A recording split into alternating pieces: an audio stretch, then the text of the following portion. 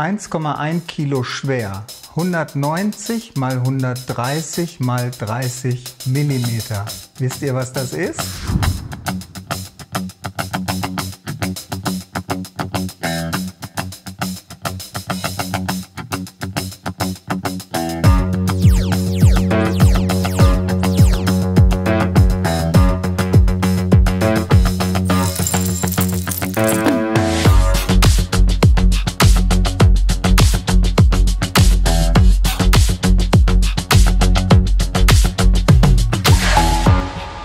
Das ist der neue Vector Network Analyzer SV4401A und der wurde mir hier freundlicherweise von der Firma Vimo zur Verfügung gestellt.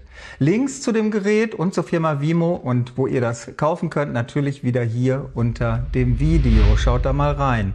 Ja, ich bin Michael, DL2YMR und ich produziere hier regelmäßig Videos zum Thema Funk, und insbesondere Amateurfunk. Und das hier hat natürlich auch wieder mit Funk zu tun. Ganz klar. Wir haben hier ein sehr robustes Gerät. Ich habe ja schon mal diese Reihe zum Nano VNA gemacht. Das war ein etwas kleineres Gerät.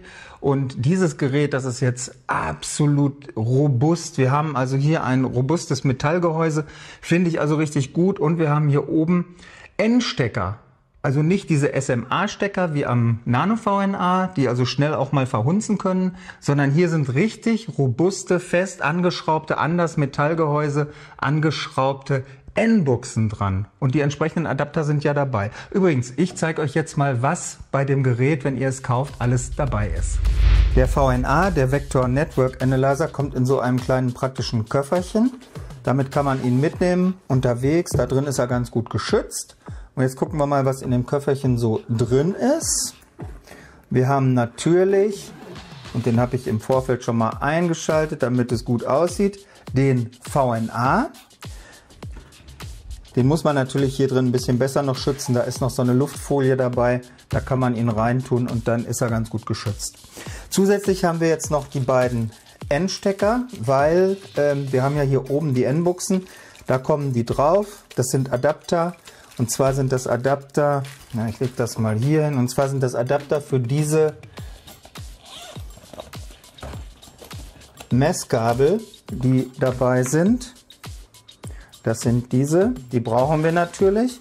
Und zusätzlich haben wir noch ein Ladekabel, damit wir den VNA auch entsprechend laden können. Und was wir noch haben, sind ein paar Adapter und vor allen Dingen die Kalibrierelemente. Also hier ist der Load, der geschlossene und der offene Anschluss. Das hier auch nochmal rausnehmen. Also hier ist Load, genau, hier ist der geschlossene und hier ist der offene Adapter zum Kalibrieren und dieses hier sind nochmal entsprechend Adapter, die man für eventuelle Messvorgänge auch noch gebrauchen kann. Hier nochmal der komplette Lieferumfang als Tabelle. Wir haben also dabei einmal das Gerät, den VNA S4401A, wir haben eine Bereitschaftstasche, ein USB-Kabel zum Laden, zwei N zu SMA-Adapter, wir haben zwei SMA-SMA-Adapter weiblich-weiblich und ein SMA-SMA-Adapter männlich-männlich und das Kalibrierungskit einmal SMA Open, Short und Load und 250 cm RG 316 Kabel. Ja, und was macht das Gerät für mich als Funkamateur so besonders? Also wir haben einmal dieses robuste Metallgehäuse, was das Ganze auch ähm, unempfindlich gegen Einstrahlungen macht. Ist also richtig gut. Was es noch außergewöhnlich macht, ist der Frequenzbereich. Also wir haben hier einen Bereich von 50 Kilohertz bis 4,4 Gigahertz. Das heißt also auch das äh, 13 Zentimeter Band kann hier noch mit gemessen werden. Also wenn ihr irgendwie im, im ähm, Hemnet aktiv seid oder mal WLANs messen wollt oder so Antennen für WLAN messen wollt, dann könnt ihr das mit diesem Gerät ganz hervorragend machen. Also der Frequenzbereich ist natürlich ähm, außerordentlich breit und was wir hier noch haben, wir haben ein 7 Zoll Display. Und das ist für meine Augen eigentlich eine gute Sache, denn das lässt sich auch wirklich sehr, sehr gut ablesen. Es ist entsprechend groß und man kann wunderbar damit arbeiten. Aber ich zeige euch jetzt mal, wie das Gerät bootet. So, wir wollen das Gerät jetzt einmal booten.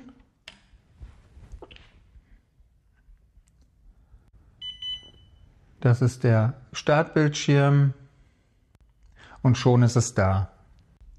Ja, der Aufbau ist im Grunde genommen wie beim Nano VNA. Und ähm, ich habe hier die unterschiedlichen Traces, kann die hier also ein- und ausschalten.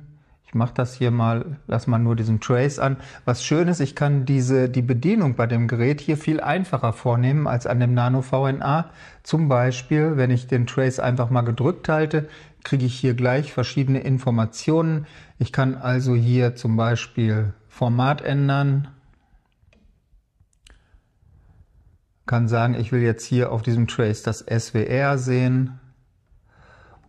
Ähm, ich kann den Scale einstellen also hier die Verhältnisse ändern und verschiedene Dinge mehr, die hier den Trace betreffen. Kann auch wieder Cancel sagen. Hier kann ich ganz normal wie bei dem Nano VNA auch die Frequenzen eingeben. Das Schöne ist, wie gesagt, er geht bis 4,4 Gigahertz. Ich kann Marker setzen. Ich kann das Gerät kalibrieren natürlich. Das müssen wir ja machen, damit wir eine entsprechende Kalibrierung auch haben, bevor wir messen. Ich kann hier die Kalibrierung sichern oder auch wiederherstellen. Ich habe hier schon mal verschiedene angelegt. Hier habe ich zum Beispiel mal von 20 bis 22 Megahertz, weil ich da eine entsprechende Antenne mit durchgemessen hatte. Ja, ich kann das auch, das ist auch ganz interessant, diese Kalibrierungen, diese unterschiedlichen, auch hier in Files abspeichern. Und da kann ich mir ja eine Unmenge an Files anlegen, ähm, die ich dann wieder abrufen kann. Insofern bin ich nicht nur auf diese ähm, Eintragsmöglichkeiten hier im Menü angewiesen. Ich habe zwar hier noch mehr, ich kann also hier bis zu elf ähm, Kalibrierungen eingeben, aber durch diese File-Geschichte geht das natürlich noch gehen da natürlich noch viel mehr. Ja, was haben wir hier noch? Wir haben eine äh, Config-Möglichkeit. Ich kann hier also die Helligkeit zum Beispiel regeln, Datum einstellen, Sprache einstellen. Sprache geht allerdings nur Chinesisch und Englisch. Eine Sleep Time kann ich einstellen, die Bildschirmhelligkeit kann ich einstellen. Und hier ist Storage, hier kann ich entsprechende Files nochmal ablegen und auch wieder reinladen. Ja, vieles geht halt über das Display direkt. Zum Beispiel, wenn ich die Anzahl der Messpunkte oder Kalibrierpunkte hier einmal eingeben möchte, brauche ich nur auf das Display zu tippen und kann hier eingeben, äh, was weiß ich, 201. Das geht also bis 1001 Messpunkt oder Kalibrierpunkt kann ich hier einsetzen und ähm, wenn ich hier natürlich weniger einsetze, dann wird der Messvorgang entsprechend beschleunigt. Ähm, die Ausgangsleistung des Gerätes kann ich hier einstellen von minus 42 bis minus 12 dBm. Da kann ich zum Beispiel Empfänger mit überprüfen und so weiter. Ja, was hier noch interessant ist, das geht auch sehr gut. Das äh, braucht man auch keinen Umweg hier über das Stimulus-Menü machen, sondern wenn ich eine Frequenz eingeben will, dann gehe ich hier einfach auf den Bildschirm, klicke auf Center Frequenz, hier beispielsweise, sage 7 Megahertz und kann dann hier sagen, die, die Spannweite, den Span auf meinetwegen 2 Megahertz und dann habe ich die Bereiche hier drin.